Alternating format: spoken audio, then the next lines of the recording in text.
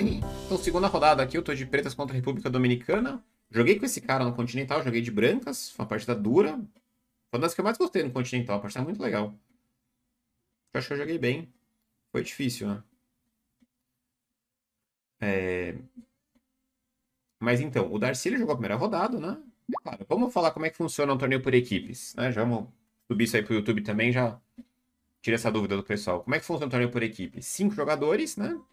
A Olimpíada é assim, quatro titulares e um reserva.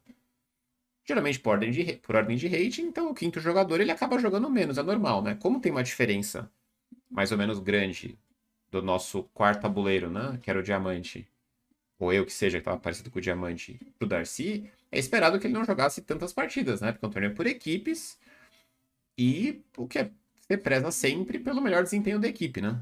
Então é normal. Tem equipes que o jogador joga uma rodada e não volta nunca mais, né? O quinto tabuleiro. Tem equipes que os cinco tabuleiros são muito equilibrados de rating. Aí é esperado que tenha mais rodízio. Na, na Jorge 2018, todo mundo jogou um monte de partida.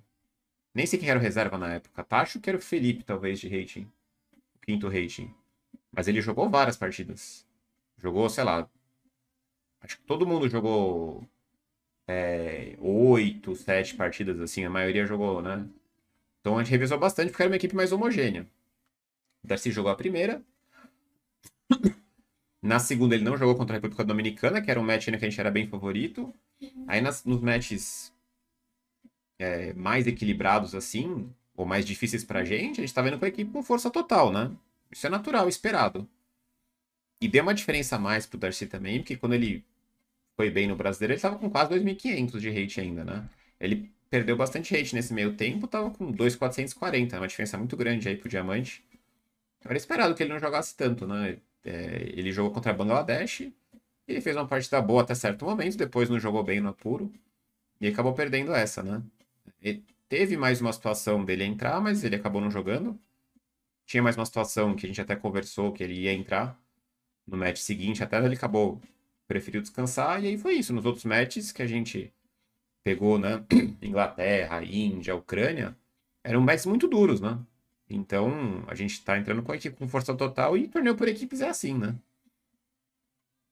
Agora sim, claro, era muito melhor para a equipe a gente ter um jogador que tivesse mais próximo ali, que pudesse entrar mais, né? Com certeza. Mas é isso, ele classificou pelo brasileiro, ele estava num nível diferente no brasileiro que ele tá, ele estava na Olimpíada, né? Então foi outra circunstância, mas foi normal, assim. Tá todo mundo de acordo. Todo mundo na equipe estava bem em relação a isso, né? A gente tem um jogador quinto. Mas ele seria bom, mas seria bom muitas coisas, né? Claro. A gente jogar sempre com a equipe titular é ruim porque a gente fica mais previsível também, né? Enfim, mas é isso. Mas aqui, segunda rodada. Não, com certeza, Azorius, exatamente, porque é, o Diamante teve uma sequência ruim, né? Pode acontecer com qualquer um da equipe. Teve uma sequência ruim e era muito importante ter um reserva, porque é, é muito bom de dia de descanso. É muito bom quando você tira um dia de descanso para você, para a cabeça, você dá uma relaxada, né? E só que a gente não tinha muito essa flexibilidade, daí prejudicou, né? Por isso que ainda foi, pô, mais incrível ainda, né? O resultado que a gente conseguiu, porque a gente teve essa dificuldade que outras equipes não tinham, né? De ter uma flexibilidade maior de colocar o quinto tabuleiro ou não. Mesmo, né? Com, com tudo isso, enfim. Bom, então a Trompovski aqui rolou. Pode ser até um vídeo separado esse, não sei, sobre a Olimpíada. Não sei se precisa. Pode ser junto com esse, né? Às vezes pode ser até um, um corte separado. É, ele jogou Trompovski aqui. Corajoso cara, né? Jogou abertura brasileira aqui. Contra o Brasil. Porque o Nego Short não jogou, ele tem jogado muito pouco, né, André? Ele tem jogado muito pouco. Faz tempo que ele não joga Olimpíada, eu acho. Eu joguei D5 aqui, que é um lance que eu gosto bastante. É, eu lembro que assim, eu preparei bastante com esse cara, ele jogava mais peão dama assim principal. E eu vi algumas de Trompovski. E...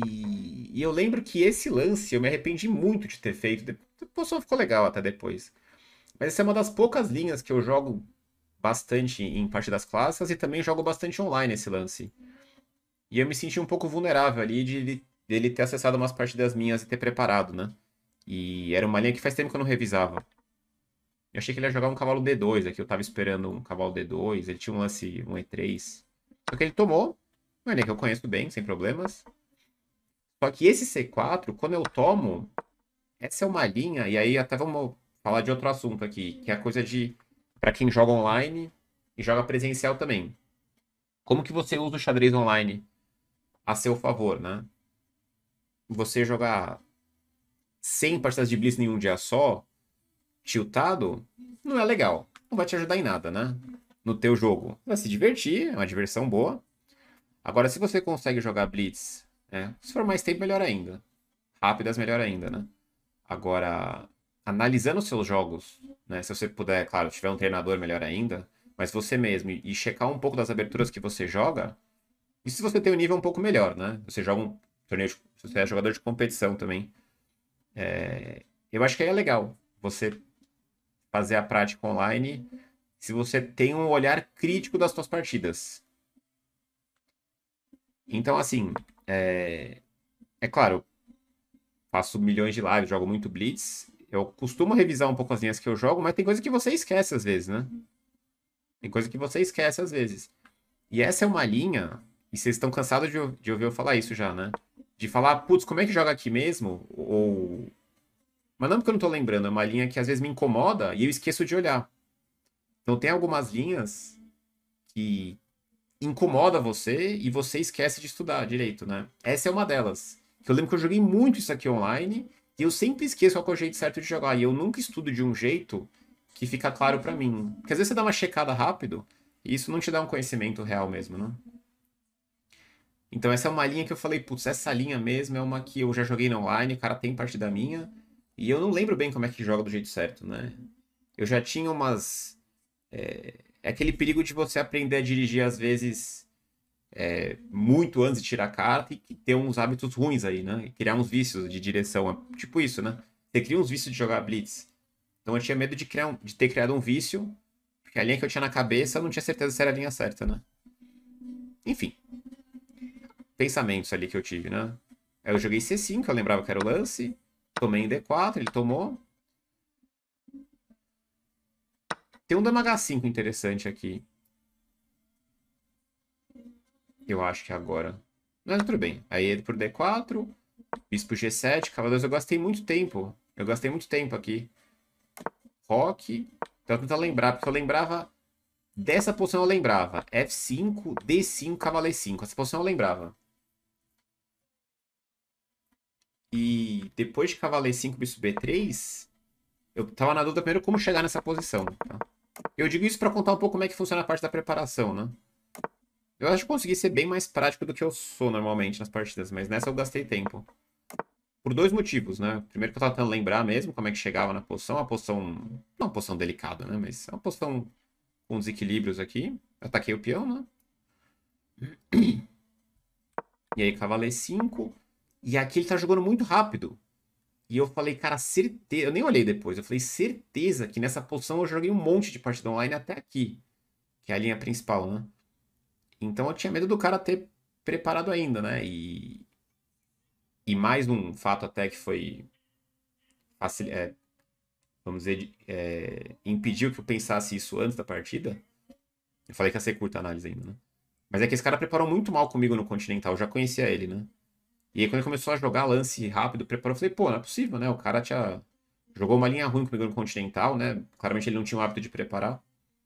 Mas era a Olimpíada, né? Enfim. E até outro negócio, passou o Pepe Cuenca do lado e começou a ver a partida. E eu.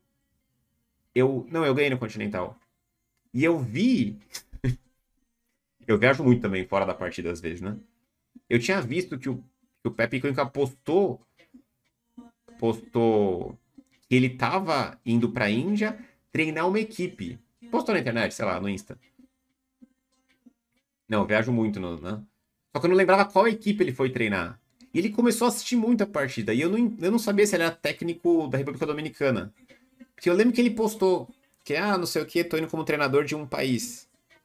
E eu falei, putz, se foi um cara desse nível que preparou ele, vou ficar tenso. Aqui eu tava ficando tenso agora, né? Eu acreditava que a posição era boa para mim. Eu tinha quase certeza que a posição era ok para mim. Eu tava meio preocupado. Uma posição, sei lá, posso levar uns ataques aqui, né? Ele começou a assistir muito a partida dele. Mas no fim ele não era técnico deles, ele era técnico, sei lá, de qual equipe, né? Só que eu acho que era de uma equipe é, da América Central mesmo. De um outro país da América Central. Não, foi uma viagem isso, né? Eu não lembro por que país que ele era técnico, mas ele é de algum outro país da, da América Central. Enfim, eu tinha uma, eu tinha uma, uma dúvida aqui, principal, que é a jogada. Depois de pensar 20 minutos se o Pepe Quen é o técnico da equipe ou não. Dama D6 era só um transeunte. É que ele ficou muito encanado com a partida. E tipo, beleza, né? É... Ele tava no. A gente tava no salão. No salão B, né, essa hora. Então, assim, é um salão que não tinha muitas estrelas, né? Você tem uma noção de como era ruim o nível do salão, do salão 2, a gente estava na mesa 1 do salão. Ou seja, nós éramos as estrelas. Ou como a gente definiu lá, nós éramos os melhores dos piores. Então, assim, não tinha muito quem assistir na Olimpíada, né? Naquele salão 2. Então, as nossas partidas eram talvez uma das melhores, né? Que tinha. Só que ele ficou muito encanado com a partida, né? Aí eu comecei a pirar um pouco nisso, né? Enfim, o que eu lembrava era que o Dama D6 era uma ideia, só que eu não sabia se era com ou sem A6. Né? Eu comecei a analisar cavalo B5, que é uma viagem completa aqui, mas eu achei que era um lance chato. Pra ele passar o cavalo pra cá. Só que tá tudo tão instável na posição dele aqui. Acho que é A5 é o lance aqui. Eu comecei a achar que tava um pouco desagradável, né? E não é tão fácil assim, porque tá vindo um cavalo G3, bispo C2, né? Eu tava com medo desse lance aqui. Mas eu consigo jogar de várias maneiras diferentes aqui. Não, esses eu não quero jogar nunca. Porque abre muito aqui, fica muito fraco, né? Que, que o Pepe Cunha jogaria aqui? Técnico de Porto Rico? Aí, ó, Matheus. Obrigado pela informação. Pô, aí vocês têm que me dar um crédito de possivelmente confundir Porto Rico com República Dominicana, né? É informação que eu vi totalmente por acaso, né? Tipo, eu vi uma semana antes, sei lá, cinco dias antes que ele postou, né? E eu vi que era um país, tipo, como é que eu vou saber, né? E o cara começou a ver a partida, eu falei, pronto, é República Dominicana, né? Não, merece um crédito, né? Não, não é igualzinho, informação que eu vi por acaso, né? Não, eu não tenho nem. Eu nem tinha que ter visto essa informação, né? Enfim, eu joguei A6 no fim das contas, pra, pra jogar com o Dama D6. Que não é um lance pre muito preciso, mas ok. Ele jogou Torre 1, Dama D6. E aqui ele começou a pensar. E aí eu fiquei feliz. E o Pepe Cuenca sumiu. Aí eu comecei a. a parar das minhas viagens. Exatamente, né, doutor? Não, o problema é que o crachá da Olimpíada não dizia de que país você era. Assim, é, se você é jogador, sim, mas dos técnicos não dizia. Se você é jogador, tinha lá a bandeira e tal, né? Mas se você é técnico, estava escrito assim, capitão só. Não sei se ele tinha capitão ou técnico, acho que estava escrito, né? Eu vi isso, eu tentei ver. Se ele tinha uma blusa, alguma coisa, né? O crachá. Ele começou a pensar aqui. Aí eu vi que ele também tava fora aqui já da preparação, né? Bom, ele jogou cavalo D4, que acho que não é um lance bom já. Ah, não, esse tá ok. Ficou bispo D7, isso. É que eu tava um pouco incomodado com algumas coisas. E depois eu percebi que o A5 era melhor, às vezes, até. Pra dama B6. E tentar fazer um A4, né? Não podia levantar e perguntar se é técnico da delegação? Ah, não, é perguntar para quem isso. Eu não posso conversar com o capitão. Com o meu capitão, né? Não, não, mas ele, tá, ele não tava sentado ali, porque geralmente. É que como era segunda rodada também. Que assim, é, a gente tem os jogadores ali e do lado tem três cadeiras. Três cadeiras. Tem o um árbitro. Cada match tem um árbitro. É legal isso, né? Aí além disso, tem o capitão de um time e capitão do outro. Então, assim, tinha o nosso capitão, né, o Priadachão, indiano, e tinha um capitão dos caras também. Então, tinha um cara sentado ali, que era o cara da República Dominicana. Só que eu não sabia se ele era só o capitão e tinha um outro cara que era treinador que podia ficar. Já não faz sentido a história, né? Porque não ia poder ter. O cara não vai poder ficar lá se ele é só treinador e não capitão, né? Então já tinha um cara lá do país dele sentado, né? Eu já tinha informação suficiente para saber que não era ele, né? O técnico. era um cara que eu nunca vi na vida. Né? Mas. Pois é. Mas enfim, ele tinha um lance que eu não lembro qual que era que me incomodava aqui. Não sei se era Bispo C2, cutucando aqui. Só que ele jogou esse. Eu achei que era um lance decente, mas é um lance ruim aqui. Eu achei que era boa essa troca pra ele, não sei de onde. Eu tinha que ignorar aqui. Então, o plano aqui, ó, é jogar torre C8, às vezes expandir aqui mesmo. É buscar estabilidade, expandir. E esse peão é fraco, né? O branco tem uma iniciativa pequena, tem esse peão, pode ser um alvo às vezes, né? Enfim, eu não sei bem o plano, né? Mas assim, o preto tá bem aqui, eu tô à vontade. O único incômodo mesmo era atacar o peão de F5 rápido. É, eu tava tentando achar o caixa. é verdade, né, Azul? Essa era boa, né? Falar, pô, o cara tá, o cara tá atrapalhando aqui, né? Bom, cavalo F3. E aí eu puxei cavalo G6, que não foi muito legal. Podia manter. Eu não queria deixar ele trocar aqui. Tudo bem. Cavalo G6, ele veio H4. 2C8, que tá bom. Dama D2. Eu gastei bastante tempo. Eu não cheguei a ficar super apurado. Ah, não. Essa eu fiquei super apurado. Não, essa foi a pior de todas no controle de tempo. Foi a única, acho que eu administrei muito mal o tempo. Eu tenho cavalo E5 aqui sempre. Eu não queria voltar o cavalo pra cá. Não lembro por quê. Torre AD1. De novo o cavalo E5 é muito bom aqui. Pra trocar, trocar. Bater aqui. Tô de olho aqui. Rei H8 ou G8 até. Eu avaliei mal aqui. Joguei bispo F6. Dama H6. Eu, eu voltei. Ele voltou. Voltou não, né? Jogou lá. Claro que eu não quero empatar aqui. E eu joguei... Eu queria fazer dama F4 aqui em algum momento. Enfim, joguei lá, lá, lá. Dama F6. E aqui ele tinha que trocar, eu acho. Trocar, trocar e H5. Porque eu fiz nessa hora... Porque agora o peão vai ficar caindo. Mas ele podia fazer cavalo E5, que era o lance da posição. Mas eu ia tomar, tomar, ganhar o peão. E aqui tem compensação ainda pra ele. Eu não entendi isso, né? Eu achei que eu ganhava um peão só. Só que ele jogou esse. E agora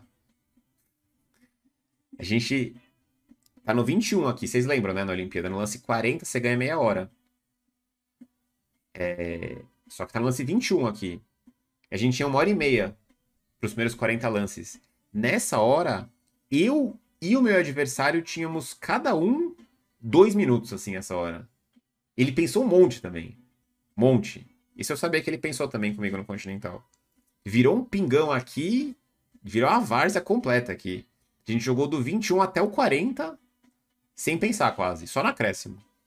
Os dois tinham dois minutos aqui, né? Não, agora que eu lembrei da história. Tem que ver depois no chess.com, mas a gente tinha pouquíssimo tempo. No máximo cinco minutos. Foi um apuro muito infinito essa. Será que ele olhou pro indiano também? Aí eu tomei H4. Ele veio o cavalo E5. Aí eu torre CD8, defendi o bispo. Eu vi D6 aqui, eu não achei que não me impressionava muito. Mandei E6. E aqui, cavalo D5 era um lance... Era bom esse lance, inclusive. Qual, qual era a minha solução com esse lance? O que, que eu ia fazer aqui mesmo? Eu ia tomar lá. Porque se tomar, ele toma de dama e vem um dama E8 aqui, né? Aí eu... Não sei se eu tinha visto tudo isso. Toma, toma. E dama D6 esse, mas eu ia jogar dama G5 aqui, acho. Não, como é que é essa linha? Deixa eu ver com o engine aqui, eu não lembro. Eu não ia jogar dama D6 aqui, eu tinha uma outra ideia aqui. Não, cavalo D5 eu tinha um outro, um outro lance aqui. Não lembro dessa, dessa análise. Não, pode ser que eu pensei nisso então, não lembro disso não. Não, desculpa, tenho que tomar de dama, né? E aí dama D6... E segue tenso ainda, né? Eu tô muito aberto aqui, mas eu tô com peão a mais e tem o dama G6 passando. Não lembro dessa análise, não. Eu sei que ele tomou em D7. E aqui eu podia ter tomado em D7 direto. Só que eu achei que ele jogava esse pra defender o rei, né? Que tem a cravada. Só que eu mandei esse intermediário, que eu achei maneiro. Dama G6. Eu lembro, cara, que eu fiz esse lance fisicamente tenso, assim. Foi um apuro estranho esse, eu fiquei muito tenso. Eu não costumo ficar tenso, assim, tipo, fisicamente, né? Óbvio que eu fico nervoso. Mas eu lembro que eu tava fazendo uns lances meio inseguros, sei lá. Eu lembro que eu joguei uma G6 meio assim. Eu acho que eu tinha menos de um minuto aqui nessa posição. Aí ele bispo D5, ele tava esperando, né, pra defender ali. E aqui... E por D5 ganhava. Era esse? Não, como é que era? Isso, e por D5 ganhava, isso.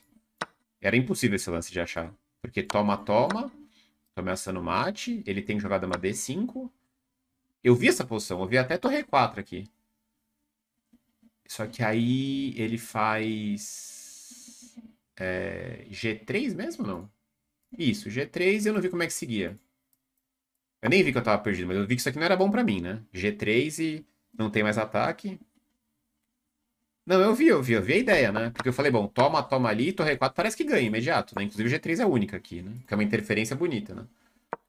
Mas aqui o lance correto eu nem sonhei, né? É dama G4. O que ameaça dama G4? É dama G4 pra jogar torre 4. É um lance impossível esse, né? Primeiro que é um lance lento pra caramba. É... O cara tem um peão D coroando aqui e isso aqui tá 5 pontos pro preto, né? Pra torre 4 agora.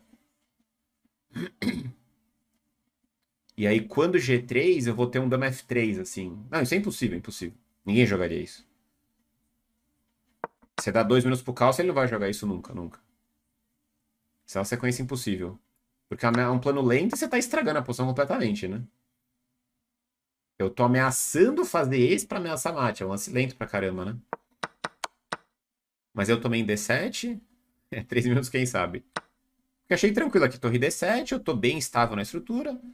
E eu achei que tava pertíssimo de ganho aqui, mas não tá. Ele jogou dama F4, que é legal. Aí eu queria muito jogar bispo F6, eu fiquei com medo de ficar uma tensão ainda nessa posição. Aí eu joguei um lance que eu. Não, eu tava 30 segundos aqui, né? Eu não queria jogar dama G4 porque eu, eu dou essa casa pro cavalo, né? Eu queria muito fazer esse manter na estrutura, mas ele tinha alguma sacanagem ali que me incomodava. Eu mandei esse, trocou, trocou, e ele mandou um cavalo E4 maneiro aqui. E aí, se tomar, cavalo F6 cheque, né? Ah, não, eu podia ter tomado aqui, mas eu achei que era muita raça fazer isso com pouco tempo. Não avaliei bem essa posição aqui, eu achei que era perigoso isso. Eu tô super meio descoordenado. Tô com duas por uma, né? Mas torre D5 tá meio estranho aqui, sei lá. Talvez cavalo G6 eu vou reagrupando aos poucos, né? Não parecia tão promissor assim. Eu joguei torre D8, parecia firme. Porque esse cavalo C5, torre D6, cavalo B7, torre D5, né? Como é que é isso aqui? Cavalo, é, como é que é? Cavalo C5? Não, eu jogo ED, desculpa, ED, né? Eu jogo. E aqui sim eu tô mais firme que o bispo F8, né? Se bem que é parecida a linha, né? É, porque torre D6 eu não posso, né? Cavalo B7 ele joga, né? Ah, isso pode também. Ah, desculpa, eu jogo esse agora. Isso. Eu não lembro se eu vi isso, mas isso eu vi depois da análise. Tô lembrando aqui. Não lembro se eu vi isso na hora. Agora mesma posição sem o peão dele a mais, né? De D. Aí ele jogou esse, aí cavalo F5, voltei. Cavalo C5. Torre D6. E ele tomou. Lá, estamos no 32, estamos num apuro violento aqui. Mas aqui eu dei uma aliviada já. Só que torre D1 eu achava muito chato ainda. Muito chato eu ganhar que eu vou ter que trocar as torres, tentar fazer um G3, é bispo de cor oposta, né? Tem cavalo ainda, mas é uma posição difícil pra caramba. Ele tomou de bispo, e esse foi um alívio grande, né? Ele tá super... É muito perigoso tomar de bispo, né? Ele quis manter. Esse é um erro de alguns jogadores. Quando eles pegam um jogador mais forte, eles ficam com essa... Tem, tem gente que quer trocar muita peça, né? Tem gente que quer o contrário, quer complicar sempre. Fala, pô, quero sempre manter as damas, manter mais peça, quero complicar com um grande mestre. E você tem que jogar no final, às vezes, né? E agora a torre B8, tá aqui o cavalo. E agora G3 é maneiro aqui. Porque se tomar bispo D4, cheque. Eu tomei lá. Tomei em B2, tô com 2 a mais. Agora é só dar uma coordenada nas peças, vai ser tranquilo. Estamos no 34 aqui ainda. 36, aliás. F3, botei o cavalo em D5. Cavalo B6.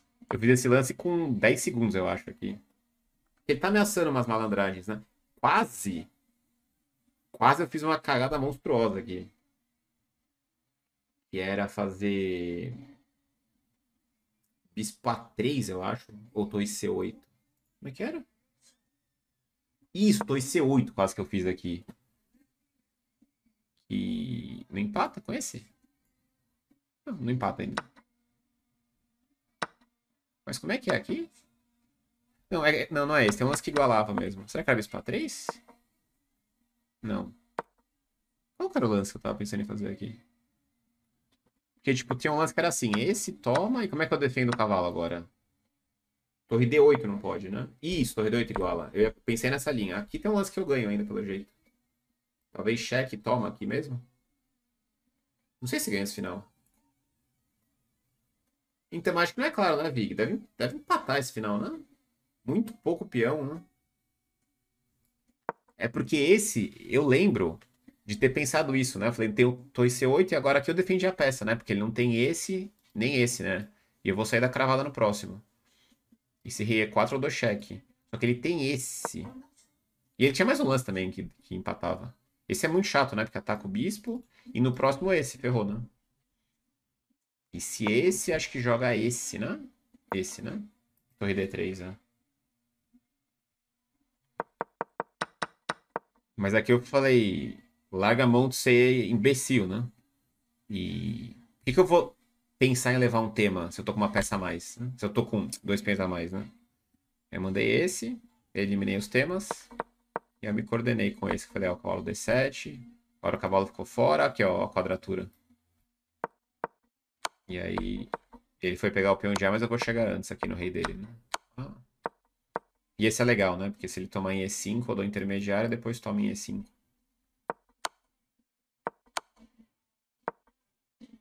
E que já, assim, a gente passou do 40 ali, deu uma respirada boa, né?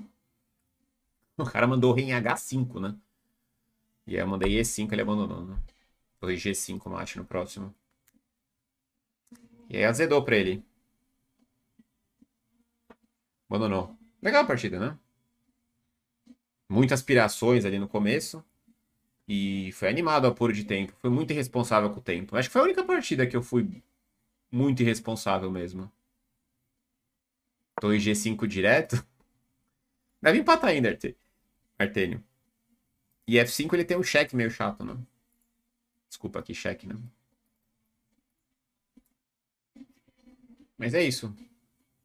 Perigosa, assim. Mas aí que tá, Vic, é perigosa porque eu me enfiei numa situação perigosa do tempo, né? Posição confusa, beleza, mas se eu tenho ali meia hora. Tipo assim, se eu tenho meia hora, sou mais responsável e o cara tem um minuto, eu vou ganhar do cara 100% das vezes, né? Não tem erro nenhum. Mas eu não posso deixar o cara assim, que eu tenho uma vantagem tão grande, assim, que eu sou bem favorito, entrar numa situação dessa meio tiroteio ali, né? Pode acontecer qualquer coisa. Mas claro, pode ser dura de qualquer jeito, né? Agora, se o cara ficar apurado igual e eu não fico ali, ele não vai escapar nunca, né? Final complexo, sim, né?